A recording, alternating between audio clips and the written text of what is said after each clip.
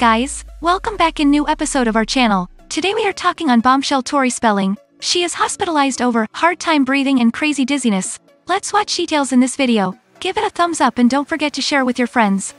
Tori Spelling is in the hospital while having a hard time breathing. The actress shared a since deleted Instagram story selfie from a hospital bed on Wednesday, flashing a peace sign and smiling at the camera. Here I am in the hospital since late last night, the BH 90210 alum wrote. The Messiness co-host noted that she was experiencing high blood pressure and crazy dizziness, with doctors running a battery of tests. The Tori and Dean alum went on to slam haters who gaslit her when she felt too sick to work this week. How about next time, you take someone at face value and show kindness instead of doubtfulness, Spelling added.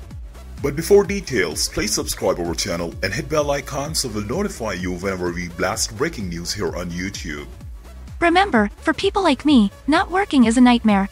I'm a hustler and a workaholic. I always choose work. The former reality star told her followers that she wanted to get home to her kids.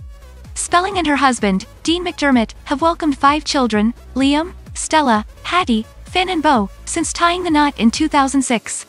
The former Chopped Canada host is also the father of son Jack, whom he shares with ex wife Mary Jo Eustace.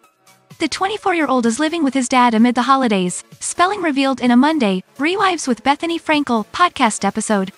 She claimed that Eustace's daughter, Lola, has also been staying at their home, explaining, We have a big, blended family right now. The more, the merrier.